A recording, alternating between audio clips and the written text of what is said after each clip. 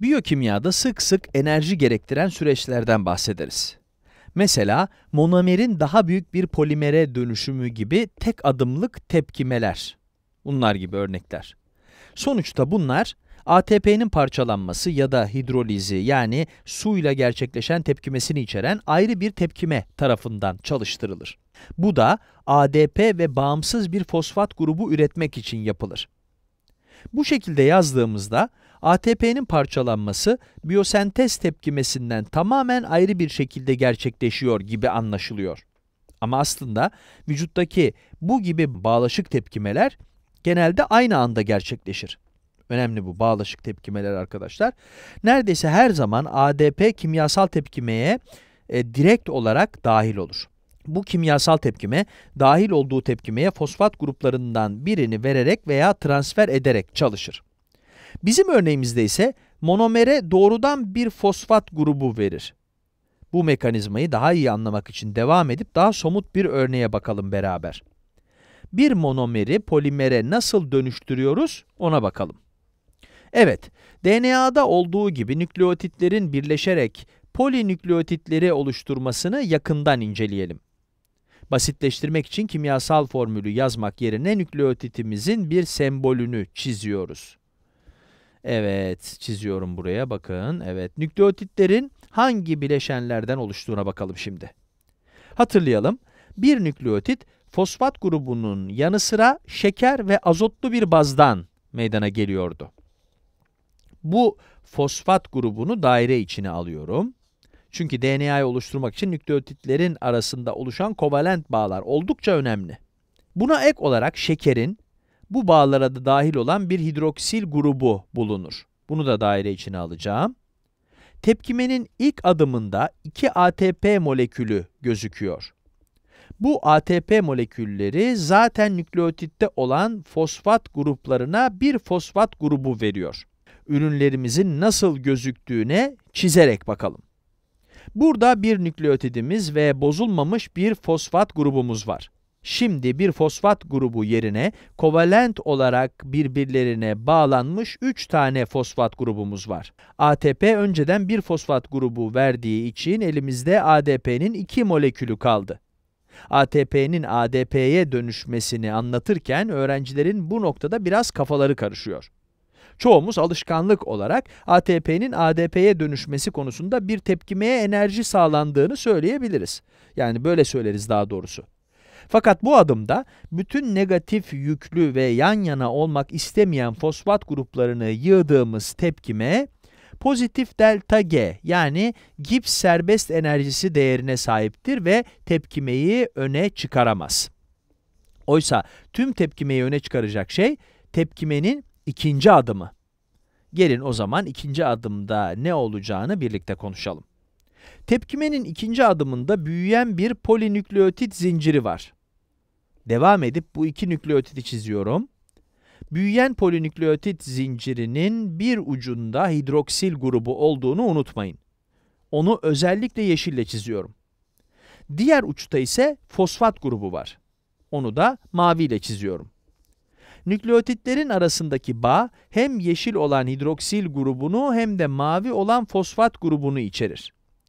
Tepkimenin bu adımında büyüyen polinükleotit zincirinin hidroksil grubu aslında bir önceki adımda eklenen fosfat gruplarının yerini alır. Bu gayet mantıklı. Çünkü 3 tane fosfat grubu bir araya gelince çok kalabalık olur. Bu da fosfat grupları arasındaki bağlarda yer alan elektronları enerji açısından oldukça kararsızlaştırır. Bütün bu birbirine yakın olmak istemeyen havalı, burnu havada negatif yükleri bir düşünün arkadaşlar. Neyse, devam edelim ve en sondaki ürünümüz nasıl gözüküyor çizelim. Bu polinükleotit zincirini kopyala yapıştır yapacağım. Böylelikle hepsini tekrar çizmek zorunda kalmayacağız. İşte bu şekilde. Burada bize lazım olmayan yerleri silelim. Buradaki yeşil olan hidroksilin ucunda yeni nükleotitimiz kovalent olarak bağlı. Bunun çizgiler çizerek eklediğimiz en son e, en son eklediğimiz nükleotit olduğunu da belirtiyorum. Bu kovalent bağ fosfat grubunda olduğu gibi hidroksil grubu arasında da oluşur. Bunu da mavi ile belirttim. Diğer hidroksil grubu nükleotidin diğer ucunda kalır ve başka bir nükleotidin bağlanması için hazır. Bu kovalent bağ oluşturulurken yeri değiştirilmiş iki fosfat grubunu unutmayalım arkadaşlar. Bu ikili fosfat grubunun adı pirofosfat grubu. Ama bunu öğrenmenize gerek yok. Bu ikili fosfat grubu, iki tane bağımsız fosfat grubu oluşturmak için bir hidroliz tepkimesine yani suyla olan tepkimeye uğrar. Madde tepkime yöntemi konuyla çok da alakalı değil. Esasında suyun kendini bu iki fosfat grubunun arasına asimetrik olarak yerleştirdiğini bilmeniz yeter. Temelde birine bir tane hidroksil grubu, diğerine ise bir hidrojen verir. Araları asimetrik olduğu için de bu iki fosfat grubu hala birbirinin aynı. Buradaki önemli nokta ise suyla olan bu tepkime yani hidroliz tepkimesi enerji açısından e, uygun olması. Hidroliz tepkimesinin yani enerji açısından uygun olması. Hatta özellikle oldukça büyük bir negatif delta G değerine sahip olduğunu söyleyebiliriz. Yani tepkimenin bu adımı sonuçta bütün tepkimeyi ileri götürür. Tam olarak anlamadıysanız bu duruma başka bir açıdan bakalım. Bunu bir de denge açısından düşünelim. Kimyada Le Chatelier ilkesi denen bir ilke var. Le Chatelier ilkesi, kimyasal tepkime gibi bir sistemin sıcaklık, tepken veya ürün derişimindeki değişiklik gibi sistemdeki değişikliğe karşılık vereceğini bize söyler. Bunu da değişikliğe zıt olan yönü değiştirerek yapar. Bu durumda sistemimizdeki değişiklik ne olur? Bizim sistemimizdeki değişiklik, ürünlerimizin çözünmesi. Bakın bu fosfat grubu yani bu pirofosfat grubu tek tek fosfat gruplarına ayrılıyor. Aslında burada yaptığımız şey tepkimenin ürünlerini uzaklaştırmak değil mi? Bunu yaparsak tepkime daha çok ürün üretmek için düz yönde ilerler. Düz yöndeki ilerleme tepkimeyi ileri iter. Sonuç olarak bu yöntemi inceleme sebebim ATP'nin gerçekten tepkimeye enerji sağladığını size göstermekti. Bunu da kendi fosfat gruplarından bir tanesini vererek ya da kendi fosfat gruplarından birini transfer ederek yapar.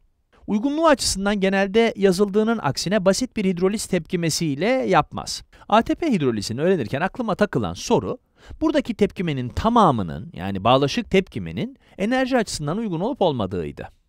Bu sebeple tepkimenin tamamında negatif delta G değeri vardır. ATP vücuttaki substratlara neden sadece fosfat gruplarını vermez? Çünkü ATP sulu bir solüsyon içinde dolaşır. Dolayısıyla potansiyel olarak fosfat gruplarını suya verebilir ve çok fazla enerji sarf edebilir. Bu soruyu cevaplayabilmek için tepkimenin olup olmayacağını kontrol eden iki faktörü de içerip içermediğine bakmamız gerekiyor. İlki enerji. Bu durum enerji açısından uygun mu? Bunun için genelde delta G değerine bakarız. Bizim durumumuzda ise tepkimemiz enerji açısından uygun çünkü delta G değeri sıfırdan daha az. Tepkimenin olup olmayacağını kontrol eden diğer faktör ise kinetik.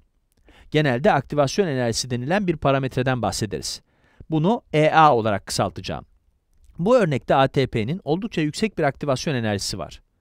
Videomuz sadece kendi başlığımızdan bahsettiği için bu başlığa sadece göz atacağız. Fakat temel olarak bu tepkimenin kinetik olarak istikrarlı olduğunu söyleyebiliriz. Çünkü çok fazla aktivasyon enerjisi var. Vücudumuzun bununla baş etme şekli şöyledir. Vücudumuzda aktivasyon enerjisini düşürebilen enzimler bulunur. Ve bunlar tepkimenin önde olması gerektiği zaman ilerlemesini sağlar.